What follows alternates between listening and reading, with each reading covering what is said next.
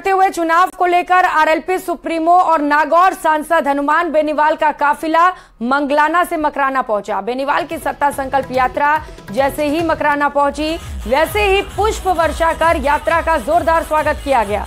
इस दौरान सांसद हनुमान बेनीवाल ने रिचपाल मिर्धा पर जमकर निशाना साधा और कहा कि मिर्धाओं ने नागौर ज़िले का विकास नहीं किया और रिचपाल मिर्धा उम्र के साथ साथ मानसिक रूप से बीमार भी हो चुके हैं, जो चाहे बयानबाजी दे रहे हैं। सुनिए क्या कुछ कहा।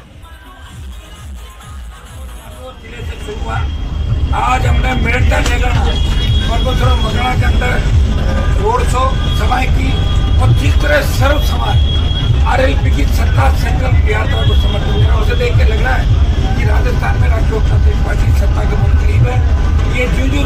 पहिया घूमेगा।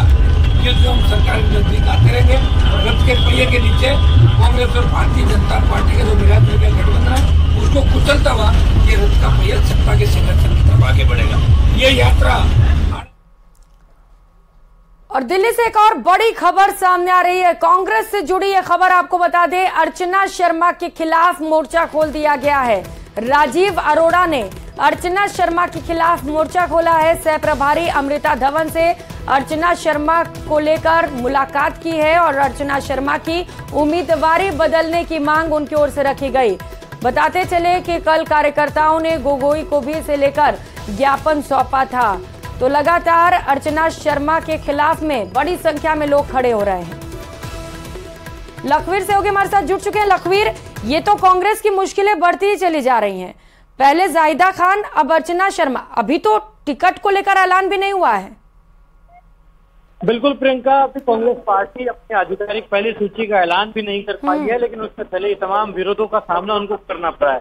पहले शाहिदा खान समर्थक विरोधियों ने से वो रूम के बाद काटा तो किसी से नहीं। अब अर्चना शर्मा की मांग से कांग्रेस पर दो बार ये हाथ करना पड़ रहा है। उनकी दावेदारी को लेकर लगातार जो कल देर रात के चेयरमैन गौरव गोगोई का ज्ञापन किया, मालवीय और कहा गया, दो बार से बिल्कुल, अब देखना है कि कांग्रेस इसे लेकर अब क्या फैसला करती है। बहुत शुक्रिया आपका, लखवीर, तमाम जानकारियों के लिए। और करेंगे